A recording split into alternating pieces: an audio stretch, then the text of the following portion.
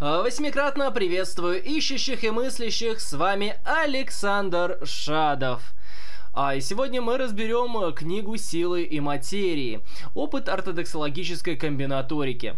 А, текст э, является переделкой моей магистрской диссертации, а, посвященной, в общем-то, исследованию проблемы а, древних э, стихий и сил, которые управляют этими стихиями. То есть я изучал, какие, а, в общем-то, стихии были у трех философских культур. Это индийская культура, китайская культура и, конечно же, греческая культура, античная культура. А, вот на базе этих э, трех культур я рассматривал э, вопрос о силах и материях. А, да. Э, текст э, наполнен всевозможными историческими отсылками. Ну, в общем, да, тут есть такие формальные научные штуки, которые я на самом деле бы удалил. Они не имеют никакой э, значимости в данном контексте. А, кстати, да, замечу перед тем, как мы перейдем к чему-то вот очень важному. Обзор натурфилософских концептов Греции, Индии и Китая, да. Например, вот к этому. А я бы хотел отметить, что моя кандидатская диссертация, она выполнена в более формальном стиле, ну, в стиле академической, так скажем, философии. И в этом смысле она менее философская работа, чем вот это вот. А вот здесь как раз э, представлен опыт ортодоксологической комбинаторики. Про производится что-то впервые. Ортодоксологическая комбинаторика, в общем-то, во всей своей красе показывает себя именно в этой работе, поскольку на примере сил и материи рассматриваются всевозможные комбинации их реализации в, непосредственно в самой истории, истории мысли, а также рассматриваются возможные варианты, которые не были раскрыты. А, да, и также здесь же раскрывается особо подробно, в отличие от предыдущих книг, написанных до вот этой вот книжки. А, раскрывается сам принцип а, этой философской комбинаторики, что очень тоже важно и в свою очередь тоже делает определенный прорыв э, в философии. А, начнем а, с исторического такого введения, да. А, натурфилософия древних греков, конечно же, первая, откуда вообще она берется? А, наверное, единственное, что вот прямо вот бросается в глаза любому исследователю, особенно исследователю стихий, что с непосредственно стихии берутся из мифологической натурфилософской концепции греков. А, дело в том, что... А, да, сейчас все боги греков так или иначе распределены по стихиям. И с этим ничего нельзя поделать. Э, практически все, подавляющее большинство божеств и титанов, и титанов греческого пантеона, и вообще в греческой мифологии, они четко делятся на ровно четыре стихии. Ни больше, ни меньше. А, начнем. Вот у нас целая плеяда богов, которые можно отнести к водной стихии. У нас здесь есть огня не было? Нет? Вроде не было. Ладно, продолжаем. Огня не было. Еще а, Амфитрита, дочь океана и Тефида. Непосредственно сам океан, вероятно, Тефида. Ахиллой, речной бог, Нериды.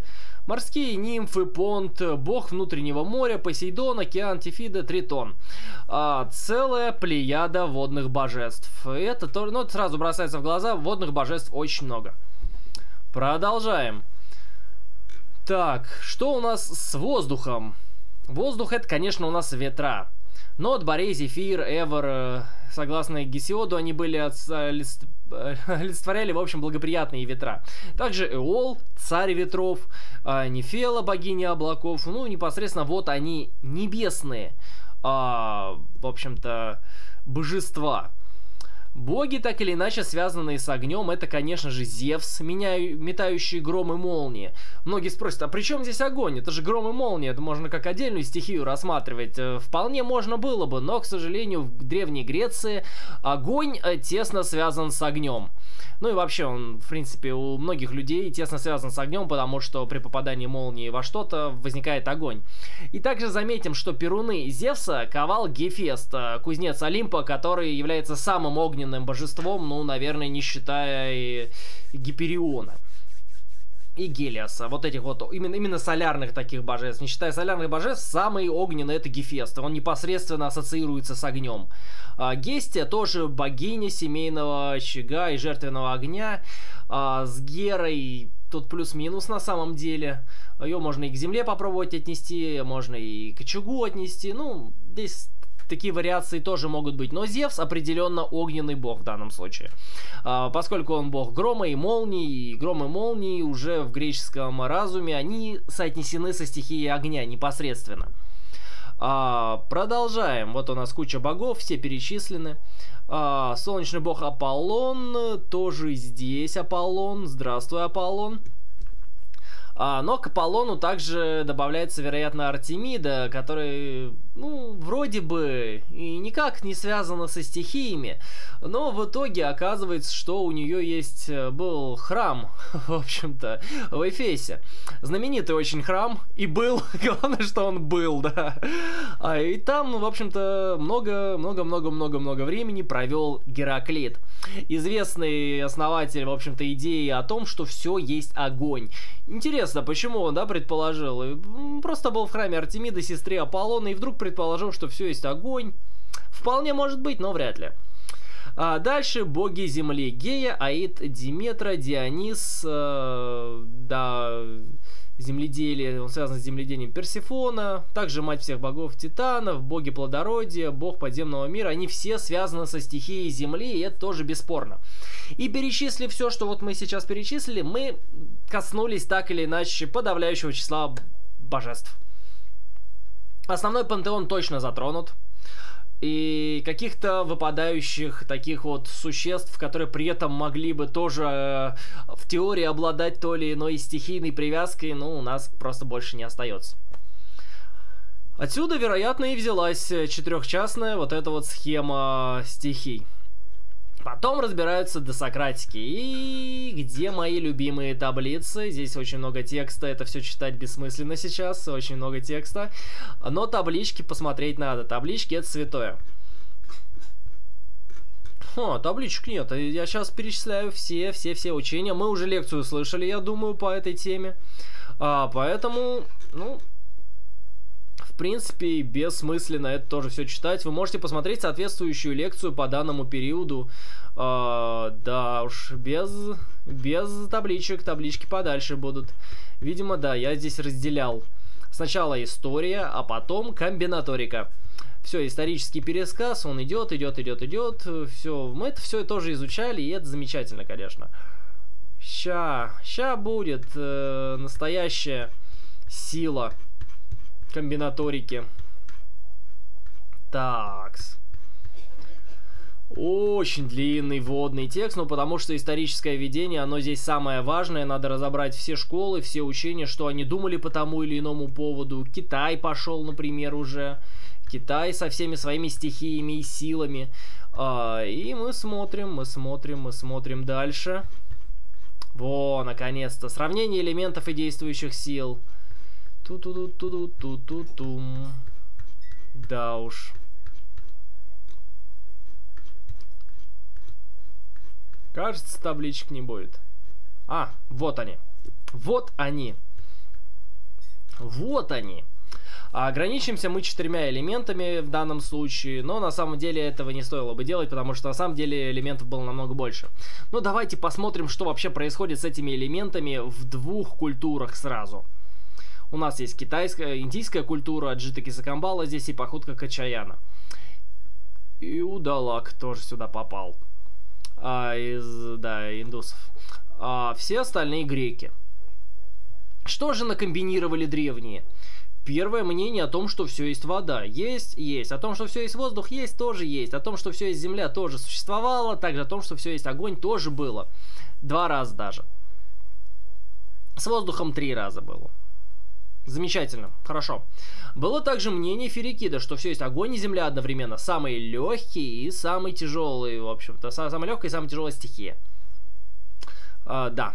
Парменид, ранний Парменид говорят, э, вот по Аристону ранний Парменид придерживался такого же мнения. Все есть огонь и земля. Да, почему бы и нет. Некий Гиппон утверждал, что тоже все есть вода, повторяя Фалес в данном случае, а Ион считал, что все есть одновременно три стихии, то есть огонь, земля и воздух одновременно. А, вполне так себе тоже интересная концепция. То есть вот, вот эти вот три базовых элемента, они в принципе равны в его системе. Это означает, что они равны в его системе и имеют одинаковое значение, и из них уже все остальное происходит. Mm. Так, Акел утверждал, что все есть сразу четыре стихии, правда, там тоже свои какие-то есть уточнения. Ну, неважно, вот, четыре стихии тоже у нас есть. Как мы видим, вот у нас такая разверстка такая небольшая. Прекрасно. Многие комбинации были перечислены. Но но на самом деле не все. Давайте смотреть все возможные комбинации и какие комбинации при этом выпали. Вот это вот мы все уже разобрали, мы это видели, табличка немножко укорочена в данном случае, но у нас нет варианта, что все есть огонь и вода, например, одновременно. Интересно, почему его нет, об этом, кстати, можно подумать. Многие не задаются такими вопросами, но, но можно подумать об этом, конечно же. Почему бы и нет? А, или почему нет такого мнения, что все есть огонь и воздух одновременно? Такая неплохая позиция, почему бы и нет. И так далее. Все пары тоже перечисляем. А, Ион и Удалака. Удалака, кстати, вот э, отличился от Иона в данном случае. Вот они все-таки из четырех возможных учений, которые э, представляют собой три комбинации трех элементов одновременно, вот э, равнозначных, э, две из них реализовались. Ну вот, у нас есть четыре возможных элемента в данной комбинаторной системе. И в ре реализация составляет раз, два, три, четыре, пять, шесть, семь, восемь, восемь пунктов, а нереализованных пунктов раз, два, три, четыре, пять, шесть, семь. Ну, то есть реализовалось больше вариантов мнений в, данной, в данном ограниченном комбинаторном, э, в общем-то, отрезке, чем не реализовалось. Интересно, замечательно. История нам представляет вот такой интересный материал, и это, в принципе, является аргументом в пользу философской комбинаторики.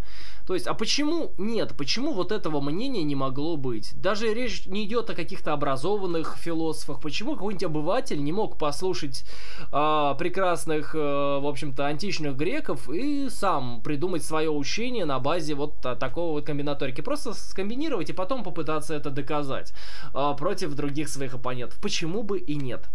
Э, соответственно, многие-то философы древнегреческие не особо что-то пытались доказывать на самом деле. Ну, по крайней мере, не сохранились у нас а, все доказательства, поэтому вполне себе адекватная комбинация. А, тем более, если мы будем отвлекаться от э, непосредственного требования к рациональности, к обоснованности, ну, мнения вообще могут быть любыми. А теперь силы. А силы бывают тоже определенно, ну, разные, совершенно разные. Например, действующей силой, объединяющей материю, может являться Бог. Либо любовь. В христианстве Бог есть любовь, в данном случае это будет два плюсика.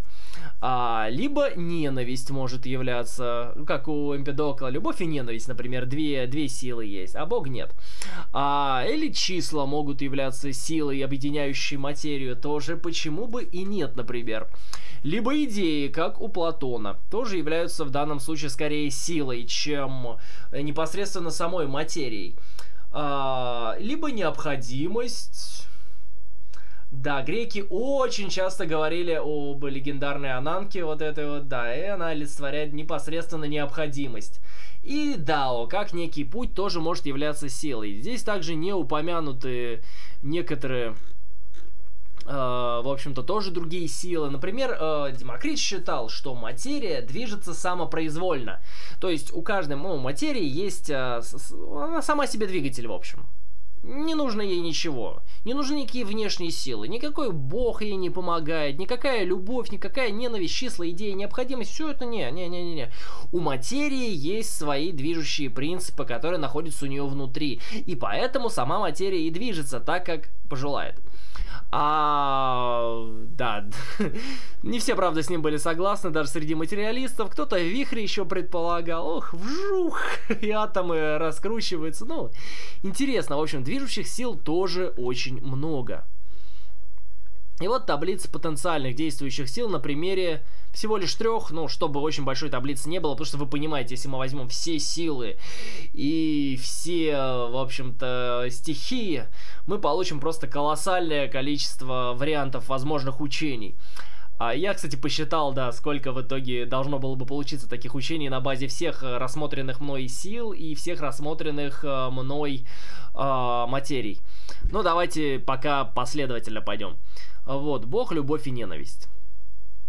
А, кто, кто, что все, что, кто, кто всем этим движет? Любовь и ненависть, да, считали двое. Эмпидокл и Пакутха Качаяна. Фалес, Ксенофан, Шанкара и Трика считали, что всем управляет тот или иной бог. Причем здесь, наверное, не следует считать бога одним элементом, но мы просто взяли и условно сделали это так. Потому что почему бы и нет. Христианство считает, что всем управляет бог и любовь. Гностицизм, наверное, наоборот, потому что Бог у нее... Бог нередко в гностицизме выступает злой силой, так скажем. Ну и что у нас вот на, на базе вот этой троичной системы получилось? Что у нас реализовано? Раз, два, три, четыре. Четыре учения, как минимум. Не реализовано. Три. Опять же, большинство. А, это, конечно, определенная уловка. Я вам показываю определенный отрезок такой э, комбинаторный, на котором получается так, что реализованные учения преобладают над нереализованными. Но на самом деле все совершенно наоборот. Нереализованных учений всегда подавляющее большинство. Просто невероятное множество. Их... Э, ну вот по сравнению с вот этим, вот, э, вот у нас эти учения есть, их мало, их там, не знаю, десятки, сотни иногда, но нереализованных квадриллионы, поэтому тут все-таки ничего не поделаешь. С этим приходится смириться. А вот и единая таблица элементов и действующих сил. Ну, вот тоже постепенно система с таблицами, она развивается, и на показательно все это показывается, как они вот так вот меняют друг друга, различные учения, и это тоже очень и очень важно. А, да, вот, видите, вот, вот, вот реальность. Реальность, она вот так вот состоит из вопросиков. Вот куча нереализованных учений на самом деле. Но с чем это связано? Это связано с тем, что в мире не было достаточного количества мыслителей, которые при этом бы занимались продуктивной философией, поэтому большого количества комбинаторики мы не наблюдаем. Такого уж большого, какого могли бы, какой могли бы наблюдать. А, да сравнении. Ну, в сравнении мы пролистаем самый конец, потому что вот у нас формула для расчета, вот она была, вот. Но вам это вряд ли что-нибудь говорит. Ну, неважно. Это, в общем-то, количество формулы расчета возможных комбинаций на базе, в общем-то, имеющихся чисел. Причем рассчитывается количество чисел на каждой ступени расчетов. Вот у нас есть 25 греческих элементов. Э, да, мы разбирали только 4, а их 25. Элементов таблицы причем, ну, бывает, много. И рассматривали, сколько вариантов всего возможных учений. Вот они, вот они, вот эти вот числа большие, там, не-не-не, вот они большие. Большие-большие числа, как видите. Но сейчас мы доберемся до самого главного числа. Так, или уже добрались? Нет, заключение. Ща. Э, так, так, так что вы понимали всю мощь разума древних. Так вот, если мы берем все возможные стихии с одной стороны и все возможные силы с другой, и будем, в общем-то, все возможные комбинации учений выводить из этого с помощью комбинаторного метода, а, мы получим, что потенциал натурфилософии древнего мира а, в трех важнейших, э, в общем-то, странах, регионах а, в общем, э, составляет 1 квадриллион 125 триллионов 899 миллиардов 906 миллионов 842 тысячи 621 мнение. А, такого количества людей не существовало на планете Земля в принципе а, чтобы вы понимали, как бы всю мощь того, что могло бы получиться из этого, если бы комбинаторика раскрывалась полностью. Комбинаторика а, это такой метод, который не может быть раскрыт полностью, но он подразумевается, как бы в данном случае, он подразумевается, потому что мы видим, э, что комбинаторика в философии реально что-то производила. Это не просто мнения появлялись из ни ниоткуда. Нет, были какие-то элементы, какие-то понятия, какие-то, в общем-то, предположения. Иногда эти предположения объединялись. Иногда создавались новые. Но, в принципе, чем больше мы живем, тем больше мы сталкиваемся с этой самой, с одной стороны, комбинаторикой, а с другой стороны, сопротивлению этой комбинаторики. А, да, потому что уже существуют э, сформированные комбинации вот этих вот мнений, которые не хотят, чтобы другие комбинации тоже реализовывались, и вот, в общем-то, э, на базе этого можно описывать и конфликты мнений, можно описывать структуру мнений, можно описывать очень много всего. И это очень хорошая, интересная описательная система. И да-да-да-да-да, тексты, тексты, тексты. И вот таблица реализовавшихся аргументов, этих стихий в греческой традиции среди которых огонь, вода, земля, воздух, эфир, треугольники, как у Платона, прямоугольные, да, а, числа, гомеомерии, аэр, ночь, время, хаос, бескачественная материя, а, атом, апейрон. Вот они, наши прекрасные стихии, которые иногда могли перемешиваться, а иногда могли не перемешиваться. Таблица индийских элементов тоже довольно многообразна, как видите. Ух, как много-много-много всего. А, в число вот этих вот элементов входит огонь, вода, земля, воздух, свет и эфир отдельно, потому что там, ну, немножко сложно с этим, а, с разделением, с переводами, в основном с переводами, потому что Акаша, эфир, свет, как-то они так бывает, перев... жонглируются в переводах, ну, неважно а, пракрити, а пракрити это сразу три элемента, то есть сатва, раджас и тамас, а также брахман как материя, шива как материя, вишну как материя, темнота, звук и много-много всего еще. Это, это сокращенный список, честно говоря. Я мог бы поработать в маги магистратуре немножко получше и поискать побольше.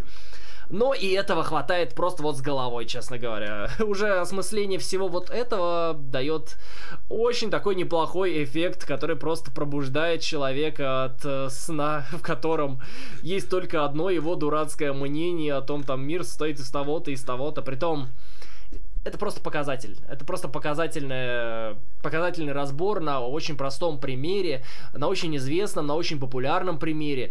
И этот разбор действительно можно перенести на любую другую область, например, на область этики. А в этике вот это вот сейчас и происходит, комбинаторика, но при этом она так не осознается, вариантов значительно меньше, комбинаторных элементов развилось, ну, не, значительно меньше все-таки. А, ну вот и все. Но этика в данном случае, она не является чем-то, что может быть изменено наукой, наверное, все-таки. И поэтому этика свободна. И этика комбинируется. А стихии, они уже давно, как бы, вот эта вот тема про стихии, она уже давно занята научным дискурсом, и пытаться сейчас комбинировать какие-то вот эти вот учения, ну, наверное, было бы, с одной стороны, наивно, с другой стороны, невыгодно, потому что, ну, ученые бы переспорили любого натурфилософа, который предположил бы, что мир состоит э, из треугольников прямоугольных, ну, например. Попросят доказать, а где вы видели эти прямоугольные треугольники? А вот таблица китайских элементов огонь, вода, земля, дерево, металл. Это все называется усин. Надеюсь, вы помните, что это называется усин. Это пятерочка прекрасная. А, также иногда эфирами считаются инь и ян. А, например, в учении Дунджуншу инь и ян это эфиры. Ну, то есть непосредственно такие тонкие материи, темная тонкая материя и светлая тонкая материя. А также еще есть ци. А, тоже она есть, вы, наверное, с ней тоже знакомы, там всякие медицинские вот эти вот штуки китайские, они базируются на такой интересной натурфилософии, в которой есть очень-очень тонкая-тонкая материя, которая пронизывает все живое и неживое. Силы, силы, силы. Бог, душа, любовь, ненависть, числа, логос, идеи необходимые, нус, то есть разум, и форма, как у Аристотеля. Таблица действующих сил в Древнем Китае, она тоже довольно-таки богата. Дао, с одной стороны, вот уже у Син. У Син вот эти вот пять элементов, но они в данном случае воспринимаются не как стихии, а как, с одной стороны, а, принцип классификации, а с другой стороны, принцип движения. То есть Усин тоже может восприниматься как и вот, э, как и иньян, например, иньян здесь тоже. Они могут восприниматься, с одной стороны, как классификаторы и тоже принципы движения, а с другой стороны, как материю. С Усин та же самая история. Также есть еще и Ли. Тоже интересная штука, и она тоже здесь в данном случае является некой заменой идеи Платона, как говорят некоторые историки Китая. Ну, такая вот своеобразная идея, только вот в китайской философии тоже связана с интеллектом, тем, тем, что придумано. Разница, скорее всего, есть. Но мы сейчас не будем ее выделять. А также небо. Э, небо тоже может быть, ну, просто китайцы очень любят небо, и поэтому, да, не зря оно, в общем, является здесь тоже одной из управляющих сил. Не зря. У неба есть определенный закон. Небо э, существует, ну, формирует мир под собой под определенным законом. И поэтому Поднебесное, в общем-то, так и называется Китай. Очень любят небо китайцы. От силами в индийской, в общем-то, таблице действующих сил могут быть Раджастама, Сатва, Брахман, Вишну, радость, ненависть, душа, необходимость, подвижность, не связанная с тяжестью, э, неожиданно, а время и Швара И многое-многое другое. Uh, в общем, как вы видите, просто колоссальное количество сил э, было предположено древними во-первых, да, было предположено древними именно придумано. Раджа, Стама, Сатва, Брахман, Вишну, много чего придумали вообще. Невероятно много чего придумали этих элементов. И много комбинаций этих элементов. Ну, то есть, мало было придумать один там Раджас. Или одного Брахмана. Мало было придумать. Да, они придумали больше, куда больше и комбинировали. Комбинировали, комбинировали. Здесь комбинировали. А, здесь тоже вот комбинировали. Видишь, китайцы комбинировали много, не, не очень много, но хоть что-то. А, больше всех комбинировали греки. Греки любили комбинаторику, но, правда, не знали об этом.